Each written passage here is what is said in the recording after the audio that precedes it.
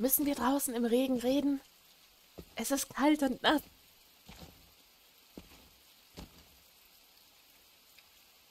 Do you have children? Ja, ich habe zwei Töchter. Naja, ich, ich hatte zwei Töchter. Do. Two little girls.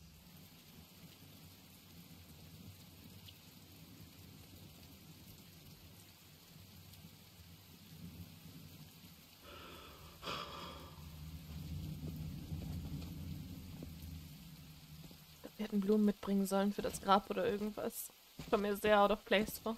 It snowed the day my wife died. Her heart gave out. Sam found her. She. She passed in her sleep. Klingt aber nicht nach dem, was uns eben erzählt We wurde. buried her so the boys wouldn't have to see her like that. The snow. It covered her grave. Erased it. Wir sollten es aber Like nicht never been there sagen. at all. Mein Beileid. I'm really sorry for your loss. Thank you. Wir sollten nicht noch in die Wunde I'm trying to focus on our kids. But the past, it always seems to find you. Ever since Sophia, I've tried to keep our family from harm. But we're falling apart, piece by piece. And now that Sam's hurt, and Greg's. Could really use your help. Your friend Pete told me all about Norma, about what happened. If she finds us, we wouldn't stand a chance.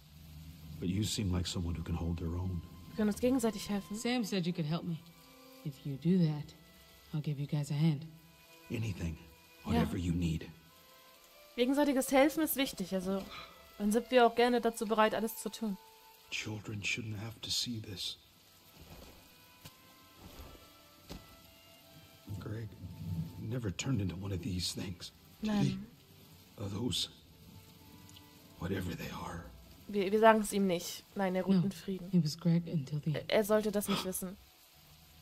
Ich hoffe, Thank Sam God. sagt nichts anderes. Ich will nur, dass es ihm einigermaßen gut geht damit. Musst du denn das Tor aufmachen? Kannst du dich einfach über die Mauer werfen? Das wäre doch weniger laut und sicherer, oder? Das, wir sollten das Tor wieder zumachen. I. I'm sorry. I'm trying to keep it together. But what if you just found out your daughters were dead? Ich kann es verstehen. And you weren't there. Man kann sich nicht. You were miles away, safe and sound. How would you feel? Du musst stark bleiben. Your kids need you to stay strong. You. Du hast right. noch Kinder, das ist der Punkt. I'm all they have. Oh! Warum haben wir die Tür nicht wieder zugemacht? Was? Mach die Tür zu! Peekaboo. Mach die Tür zu! Tür zu! Nein, ich wusste es, wir hatten sie nicht auf. Nein, Tür! Guck mal! Ah! Oh Mann! Wieso haben wir die Tür nicht zugemacht? Nein! Jetzt ist er tot! Du Penner! Ach, wieso haben wir sie nicht zugemacht? Wieso hat er sie überhaupt aufgemacht für den Arm? Hätten wir nicht rauswerfen können, den Arm? Oh! Der Mann ist tot! Geh weg vom Fenster! Geh zu den Kindern! Gott, was sollen wir denn jetzt machen? Können wir die einfach alle umbringen nacheinander? Das hätten sie verdient. Kann ich rausgucken? Okay, da ist er. I'll take the one near the fountain. Moment, das wollte ich gar nicht. Ich wollte gucken. Ah, ich habe angedrückt. Nein, ich habe gar nicht geguckt jetzt. Ich hätte den da hinten nehmen sollen. Der ist viel unoffensichtlicher. Unoffensichtlicher, oh mein Gott. Okay, das klappt schon. Where are Ganz langsam. Ach, Randall ist bestimmt gleich plötzlich hinter uns oder so. Das war überhaupt nicht laut.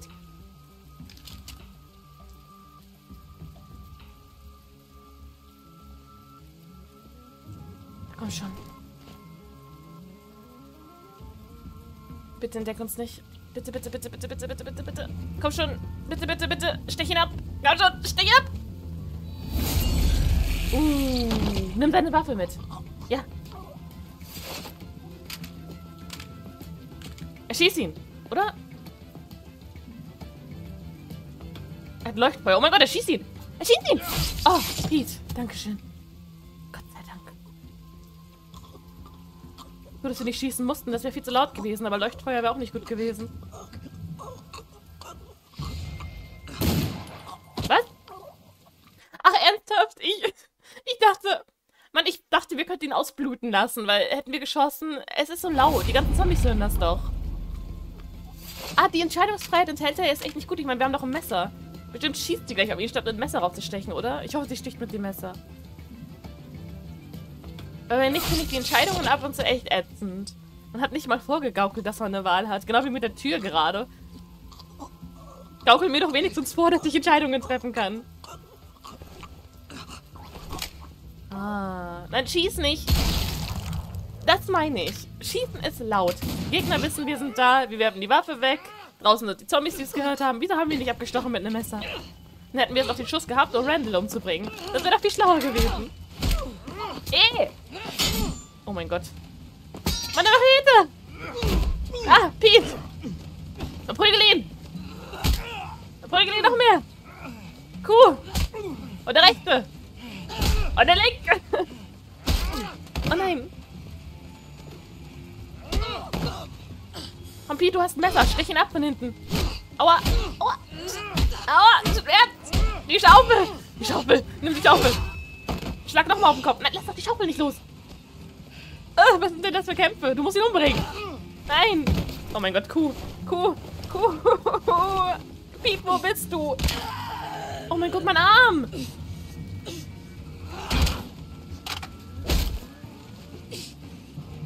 Ja, unten. Na komm. Oh, Igitt. Nochmal, komm schon. Ah, Igitt.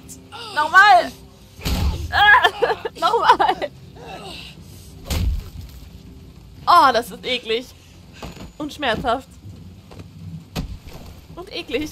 Und schmerzhaft. Uh, das ist noch ekelhafter und schmerzhafter. Ah! Aua, aua, aua, aua. Können wir dich einfach umbringen? Das wäre viel netter. Ich meine, er hat nett nicht verdient, aber... Uh. Not dead yet. Uh, uh, you. Mein Arm ist ausgekugelt. Ja, wir können es nicht alleine. Wir brauchen Hilfe. Kann einer von euch vielleicht einmal kugeln? Ach, wir haben es doch alleine gemacht. Du bist ein Biest, wie schon. Ein Biest.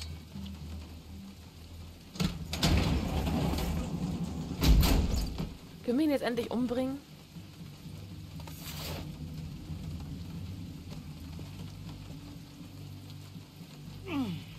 Du Penner. Du hättest uns nicht verfolgen sollen. Oh, ah, seine Hände. Ah, ist eklig. Shit.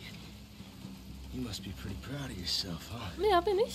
Caught yourself a golden goose. Oh, dreh den Schraubstock enger. Dann los, mach es. Forget it. Ich will sehen. Ich will, dass er leidet.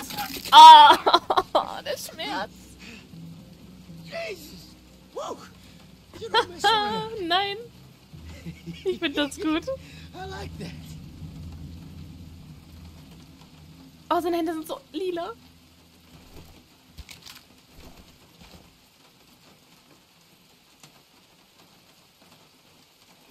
Weiß, dass Norma wir hier sind. Weiß Norma, dass wir hier sind. Does Norma know we're here? She doesn't even know I'm here. Otherwise, you'd be hearing an enabling knock on your door right about now. Randall? Randall, are you getting this? You, uh, want to get that for me? Nein. We heard gunshots. If you don't check in, I'm sending everyone in that Ach, direction. verdammt. Shit. She sounds pissed. Randall, pick up, goddammit. You gonna answer? Talk to her, Michonne. Äh, Don't make the same mistake again. Where the hell Randall are you? sollte sich melden. Ich weiß nicht. Yeah. Randall! Tell her my hands are vice stuffed, and I've swallowed a pint of. You heard her. Randall needs to check in. Können wir ihn dazu bringen, dass er was sagt, was wir wollen? This feels mighty familiar, except you're there, and I'm here. So, Miss Schoen, what do you want me to say to her? On account of me hoping to avoid more broken fingers, your wish is my command. Fall sie. Call off your sister, or I break every bone in your hand. I'll play nice. Mach's auch besser. Ist ja auch egal, wenn wir rangegangen wären, wäre es auch nicht gut gewesen. Randall! Are you alright? Yeah, I'm all right. But Miss Schoen here is mighty upset. Mann! Hey, Ich hätte aufhören sollen, weil ich bin... I Ah, was doing what you said, Michonne. How can you not trust a face like this? Penner. Hätte das nicht sagen sollen. Ah, jetzt wird sie herkommen auf jeden Fall. Randall? I lost you. What what were you saying? Ach, Mann. Ich rede lieber nicht mit ihr. Clever girl, huh? Norma will know something's wrong soon enough. Ja, sie wird es aber auch wissen, wenn wir rangehen. If I can find you, she'll find you. You know, this alone time, you and me together, it's been real nice. Was ist denn los mit diesem Typen? when my sister gets here. I'm gonna take that wrench and break your skull.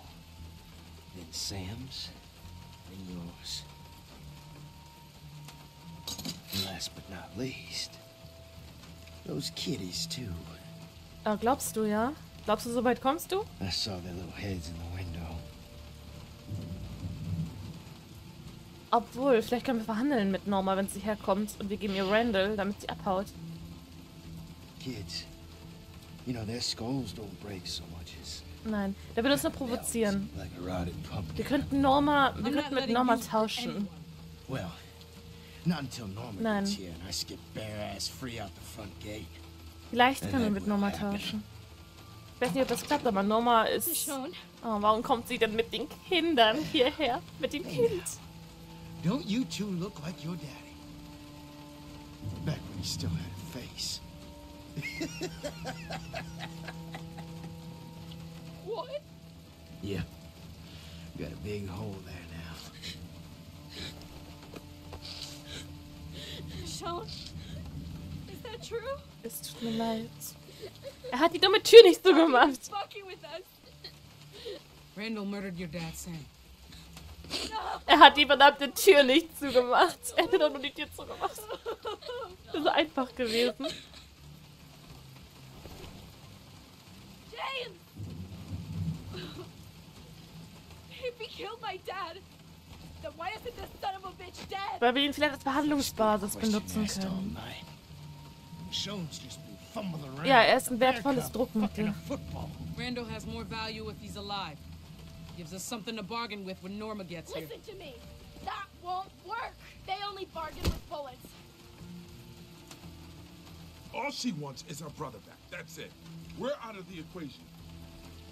You need to kill him, or I will. Oh mein Gott, Ham, wir müssen doch erstmal gucken, wie alles ausspielt. Ich versuche doch irgendwie schlau zu sein, aber irgendwie klappt hier nichts, was ich versuche. No Also lass matter mich bitte weitermachen. Okay, Pete, dann sag mir, du willst ihn umbringen. Mach es. Eben hast du rumgeheult, wo wir irgendjemanden umbringen wollten. Da war es plötzlich zu viel. Jetzt ist es, äh, jetzt ist es wieder nicht gut genug. Ich verstehe ihn nicht. I ain't had the bell of the ball.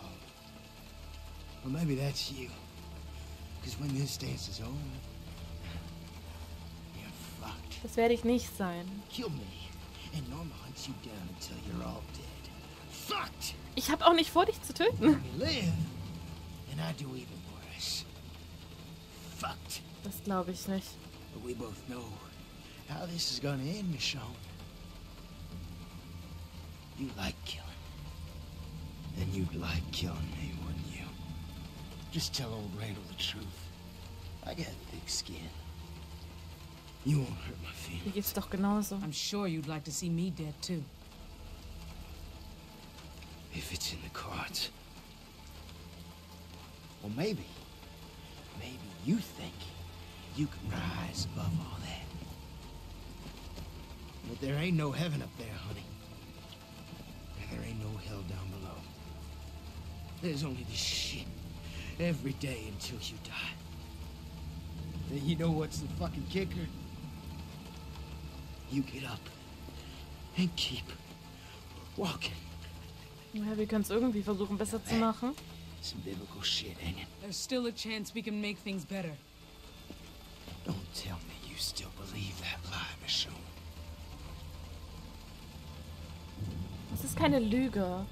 Klar, die Welt können wir nicht verändern, aber wir können die Menschheit irgendwie This am Leben erhalten. is the world your kids are dying in, Michonne. Jetzt krieg doch nicht schon wieder einen Anfall. Wieso kriegst du das immer in so komischen Momenten? Or died in. Or are in that walking purgatory. Shut up. Don't talk about that. Either way, they're suffering. Michonne? And mommy isn't. Michonne? Nein. Nein. Töte ihn. Nein, wir. Nein. Wir töten ihn nicht.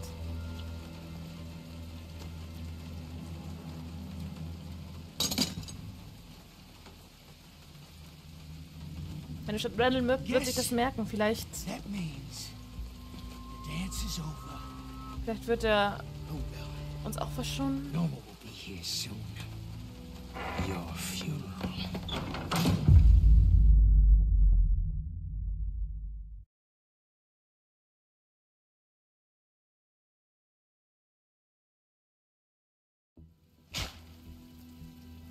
I spent a lot of time in low, low places. Where you only have your thoughts for company.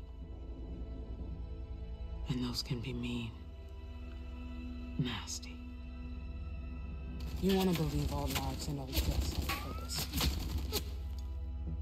Believe me, they don't. It's true. Things always fall apart. We're the ones who bring them down.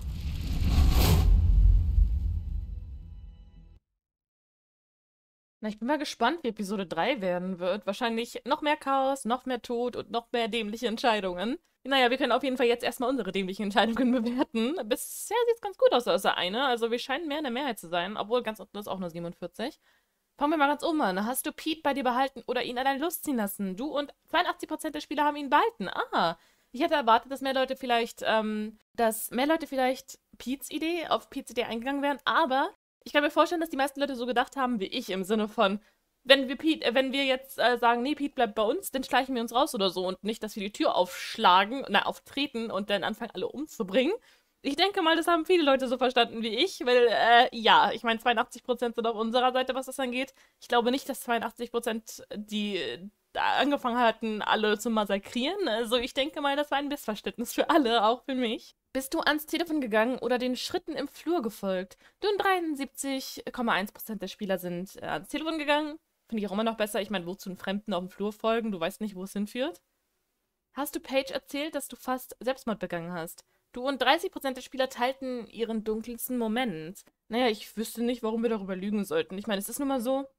Und äh, wirklich relevant ist die Information auch nicht, ob man das versucht hat oder nicht. Also nicht, wenn man sich gerade als kennengelernt hat. Vielleicht auf Dauer oder so, ich weiß es nicht. In der Welt ist es wahrscheinlich nicht ganz so relevant, weil ich kann mir vorstellen, dass viele Menschen schon, wie auch Paige gesagt hatte, viele Menschen schon darüber nachgedacht haben. Ist ja auch klar, wenn du jeden Tag mit Zombies konfrontiert bist und nicht weißt, ob du stirbst oder lebst oder verhungerst oder verdurstest und all den Kram. Wie hast du auf de, den Funkruf von Norma reagiert? Du 59,5% der Spieler ließen Randall mit ihr sprechen. Ich weiß halt nicht, was wir hätten sonst machen sollen. Wenn wir selber rangegangen wären, hätte sie sofort gewusst, irgendwas ist. Ähm, also hätte sie wahrscheinlich gedacht, Randall ist tot. Oder sie hätte gedacht, irgendwas ist komplett schiefgegangen und sie wäre sofort zu uns gekommen. Ich weiß nicht, ob wir jetzt noch ein bisschen mehr Zeit rausgeholt haben oder nicht. Ich meine, im Prinzip ist es egal, was wir machen. Es, äh, Telltale möchte, dass es in die Richtung geht, also wird es in die Richtung gehen. Das ist leider so bei dem Spiel. Das ist immer ein bisschen nervig. Egal, was du für eine Entscheidung triffst, es wird im Endeffekt darauf hinauslaufen, wegen der Story.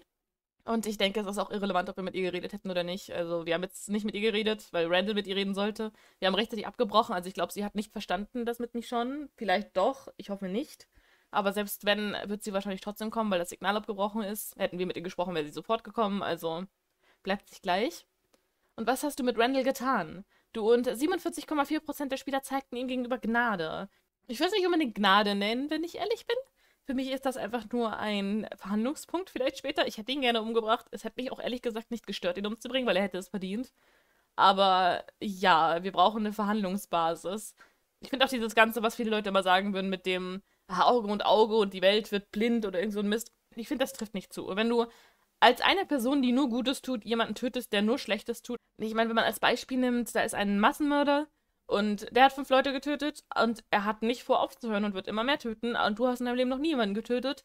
außer diesen Massenmörder dann später, dann hast du eigentlich was Gutes getan. So sehe ich das, weil du dafür gesorgt hast, dass der das nicht mehr weitermachen kann. Und andere Menschen gerettet.